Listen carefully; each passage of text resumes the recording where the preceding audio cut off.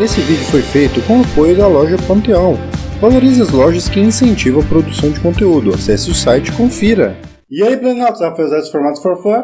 Hoje a gente está aqui para fazer um vídeo bem rápido, bem curtinho, mas que ele envolve um fechamento aí da história de, de Ixalan, porque a gente vai falar sobre os três finais alternativos que a Wizards havia escrito para o caso de outras facções ganharem. Quem não lembra ou quem não tinha né, se inteirado do assunto, a Wizards tinha feito uma votação através do seu site lá, acho que teve no Twitter, mas que eu lembro do Twitter não era muito oficial, era mais a do site mesmo. E daí as pessoas podiam votar quem eles queriam que vencesse a história de rivais de Ixalan. A gente já viu no último vídeo sobre, sobre Ixalan que quem ganhou foram os dinossauros, né? Na realidade ali o Império do Sol, né? Que são quem controla, quem representa os dinossauros. Mas a Wizards também tinha preparado finais para se cada uma das facções viesse a ganhar. E é sobre esses finais que a gente vai falar agora. Os finais são todos bem curtos, né? Quem lembra a parte do, né, para quem leu ou para quem assistiu o vídeo, a parte que fala ali do final do, do, né, do, da resolução que se teve da cidade foi a parte mais curta. A do Império do Sol foi o imperador indo para lá e tal. E daí das outras facções foi o seguinte: para os tritões a Tishana ela permanece ali por Orasca, ainda caminhando, depois que a Huatli sai. Ela fica pensando que seria uma pena aquela cidade ficar tão sozinha, né? E ela começa a pensar se realmente vale a pena ela sair dali, porque, bem, os humanos poderiam ter construído Orasca, mas Orasca não era mais dos humanos. Muita coisa havia acontecido, muito tempo havia passado, e ela começa a pensar se ela realmente deveria deixar a cidade ir embora.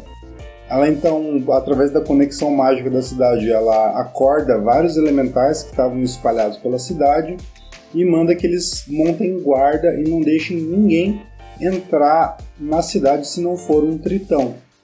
Ela depois daquilo, ela vai convocar todos os tritões e ela chama todos os tritões ali que são nomes de rio ali, eu esqueci a palavra, eles têm um acho que é porta-voz do, dos rios, né? Arauto, bom, eles são arautos do rio, e daí tem os principais ali que tem os nomes dos rios.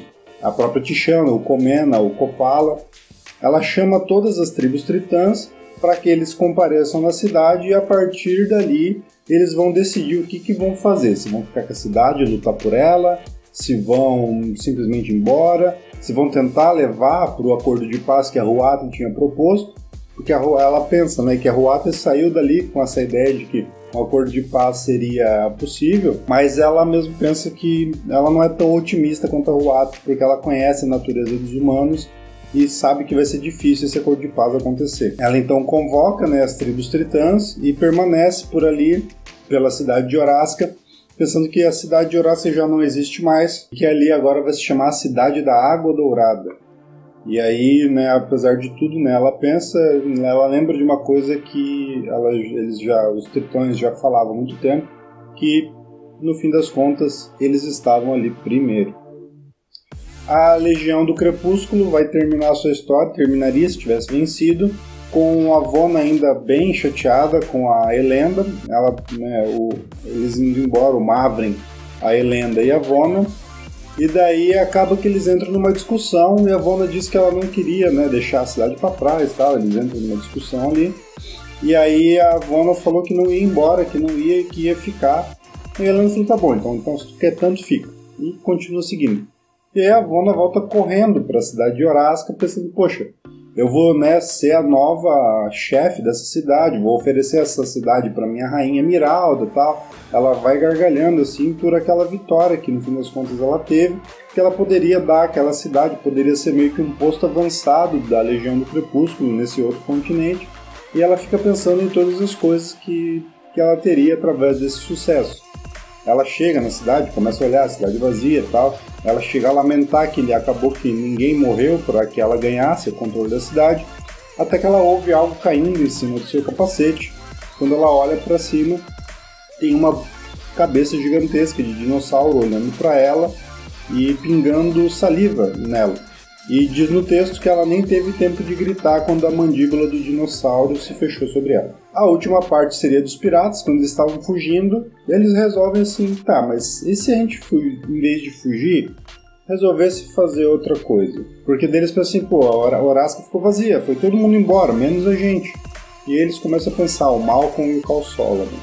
Aí o texto pula para uma semana depois, com um monte de piratas da truculenta ali é, jogando cartas, enchendo a cara, cantando, dançando, dentro ali daquele salão onde o Azor estava vivendo durante aquele milênio que ele passou ali. Eles transformaram o negócio numa taberna. E daí, quando o Malcolm e, e o Calçola chegam, eles são chamados de co-imperadores. Né? Como se os dois fossem os imperadores agora de Orasca. Tipo, é o império dos piratas. A cidade de Orasca seria o, né, o palácio ali do Azor seria o palácio imperial dos piratas da Truculenta. E também acaba assim a, a parte dos piratas. Então, pessoal, se você for ler, vai ter mais detalhes, mas em geral é isso que os textos passam, né? não tem nada muito além disso que eu falei. E eu penso que de todas as histórias, agora pensando nas três mais a dos dinossauros, eu acho que a mais interessante seria dos tritões, porque justamente cria né, um clima de de assim, eu, a gente acabou, pelo menos o sentimento que eu tenho é que o imperador Apadzek ele não é muito honrado para ser um personagem para possuir aquela cidade, que ele vai ser meio opressor, vai acabar utilizando o poder da cidade ali para para ir contra os tritões e tal, e a gente já viu lá no texto que ele quer ir para Torrezon. Então eu acho que seria mais legal se os tritões ficassem, talvez até tivesse uma treta política entre Tichana com Mena, o que, que eles poderiam fazer, né? Então, eu penso que assim, da forma que foi escrita, dos tritões seria a mais legal, mas agora os dinossauros já ganharam. E eu não sei, em termos de história, de fato a dos humanos é a que mais faz sentido para que a coisa continue. Porque ela dá uma continuidade, ela dá a possibilidade de a gente ter uma outra coleção, né, uma nova edição falando ali de Torrezon. Ao invés de Ixalan, poderia se chamar Torrezon, e aí é o lance né, dessa nova invasão do Império do Sol para a Legião do Crepúsculo, e os desdobramentos que vai ter isso, como que os invasores vão sentir na pele né, o fato né, de estarem sendo invadidos agora, como que os piratas se portariam no meio disso tudo, se os tritões teriam uma participação ou não, entendeu? Acho que em termos de world building, né, de construção da coisa, realmente a dos dinossauros faz mais sentido porque se os Tritões tivesse ganho, apesar de eu achar que foi melhor escrito, em termos de história seria mais limitador. Porque a treta iria continuar ali, só naquele continente, só entre o Império do Sol e Tritões ali, né, entre os Arautos do Rio. Porque a Legião do Crepúsculo já foi embora, os piratas iam estar tá passando, assim, nada muito específico. Se for ver em termos assim de planejamento para dar uma continuidade em termos de jogo, em termos de coleção, de fato os humanos do Império do Sol e seus dinossauros terem ganho é, foi melhor. Mas em termos de escrita, eu acho que a do, dos Tritões foi melhor escrita. A dos Piratas é uma coisa mais divertida, um lance mais sessão da tarde. É, seria legal também, né, ver os piratas tendo um domínio. A gente já, ah, provavelmente aquilo ia ser destruído muito rápido, igual Tortuga, né? Seria uma região estilo Tortuga em, no Piratas do Caribe, só com muito mais ouro capaz deles até depredar a cidade inteira e levar o ouro para outro lugar. Então, é, é, seria divertido, mas eu acho que em termos de história realmente é, não funcionaria. Mas realmente é um final bem de pirata mesmo, bem, né, acabou em cerveja, dados e cartas, então nada mais pirata do que isso. E dos vampiros foi o que eu achei mais sem graça, né, o que eu achei mais jogado. Eu acho que tudo bem a Vona ficar em Orasca, e tudo bem a Vona ser morta, né, ali pelos dinossauros, porque é uma personagem piedosa tal, um vilão padrão. Agora, as duas coisas ao mesmo tempo eu achei que ficou mal colocado. Ela ficou em ela poderia ter tido um triunfo, e daí eles usaram isso simplesmente para eliminar a personagem de um jeito que parecesse. Ah, pode até ter um simbolismo, tipo, a arrogância dela toda levou ela a morrer, porque ela ficou sozinha tal, se descuidou, né? Tava tão absorto nos seus pensamentos que não percebeu o perigo chegando. Mas ao mesmo tempo eu achei que ficou tão tipo, ah, vamos só botar, entendeu? Vamos só colocar um negócio ali para dizer que tem. Eu acho que dos vampiros poderia ter sido diferente. Eu acho que poderia ter, não sei, eu talvez se fosse fazer, deixaria né, um batalhão ali, moveria o pessoal de Adanto para dentro de Orasca, a Helenda iria para pra, voltaria para Torrezon. Chegando em Torrezon, ela seria morta pela Rainha Miralda, que é bem mais expansionista. Iria inventar alguma coisa dizendo que a santa deles, né, ou, ou traiu, ou então que se sacrificou por eles, e continuaria ali os projetos expansionistas de, de Torrezon ali da Legião do Crepúsculo. Lógico, né? É muito fácil para mim, na posição aqui de, de leitor, ficar julgando o que o, o autor teve todo o trabalho para fazer. Mas eu acho que dos quatro dos vampiros foi o que menos me agradou, porque foi o final assim que pareceu menos trabalhado. E vocês, qual vocês acharam? Vocês chegaram a ler o texto? Se vocês não leram, vou deixar o link aqui embaixo. Infelizmente tem só em inglês por enquanto. Não sabemos se vai ter uma tradução ou não. Se tiver uma tradução, eu vou avisar na página do Facebook. Então fiquem ligados lá. Curtam a página se vocês não curtiram ainda. Sigam a gente no Twitter se vocês ainda não seguem, no Instagram também. E é isso aí, pessoal. Eu fiquei semana passada sem gravar porque eu estava estudando para um concurso, mas a prova já passou, então agora a gente volta ativa aqui no canal. Eu pretendo começar a trazer mais coisas. Eu já falei né, em outros vídeos que eu quero voltar para a Innistrad, retomar a Innistrad.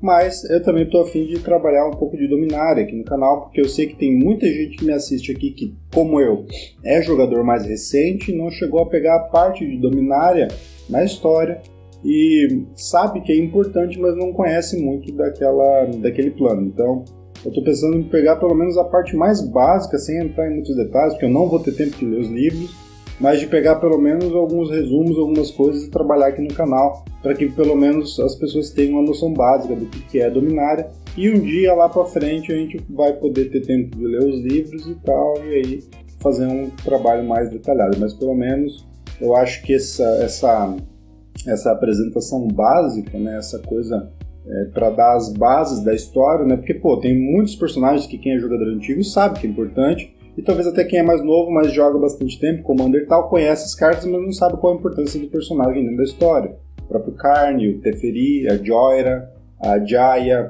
o lance da própria Bons Ventos, da nave, né? Então, tudo isso eu queria trabalhar um pouco. E é a minha ideia para as próximas semanas, a gente vai conversando por aqui. Parece que vão ser 12 ou 14 capítulos de Luminária, então vai ter muita história foi contratado né, uma escritora, Marta Welbas, talvez vão ser contratados mais escritores profissionais para trabalhar a história. Então a gente vai ter gente aí que tá, né, tem o hábito já e tem as capacidades plenas de fazer uma boa história. Eu acho que a Lorde Dominária vai ser bem legal. Parece que vai ser ao mesmo tempo que acontecia que Salan acontecia Dominária, com o Gideon e a Liliana caçando o Belzenlock, que é o último demônio dela e possivelmente daí no final de Dominária vai ser quando o Jace chega ali na nave e a partir daí vai ter a sequência. Talvez em M19 a gente tenha alguma coisa de história, mas é uma o Core 7 às vezes tem história, às vezes não, é bem não é uma coisa muito certa, né? Vamos ver, vamos aguardar, aguardem aqui no canal, se inscreva se não for inscrito e por enquanto era isso, valeu. Abraço.